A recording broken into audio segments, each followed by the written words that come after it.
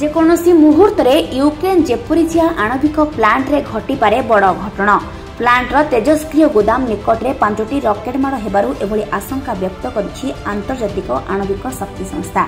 ଦିନକୁ ଦିନ ଭୟଙ୍କର ହେବାରେ ଲାଗିଛି ରୁଷିଆ ୟୁକ୍ରେନ୍ ଯୁଦ୍ଧ। ରାଷ୍ଟ୍ରପତି ଜେଲେନ୍ସ୍କି କହିଛନ୍ତି ଯେ ଯଦି ତୁରନ୍ତ ଏହି ସଙ୍କଟ ନ ଟଳିବ ତେବେ ଉଣେଇଶହ ଛୟାଅଶୀର ଚେର୍ଣ୍ଣୋବିଲ୍ ଦୁର୍ଘଟଣା ପରି ଘଟିପାରେ ବଡ଼ ଧରଣର ଦୁର୍ଘଟଣା। ୟୁକ୍ରେନ୍ରୁ ରୁଷିଆ ବିଦା ହେଲେ ହିଁ ଆଣବିକ ନିରାପତ୍ତା ହୋଇପାରିବ ପ୍ରତିଷ୍ଠା। ବର୍ତ୍ତମାନ ଏହି ପ୍ଲାଣ୍ଟ ନିକଟରେ ଉଭୟ ପକ୍ଷର ବହୁ ସଂଖ୍ୟକ ସେନା ରହିଛନ୍ତି।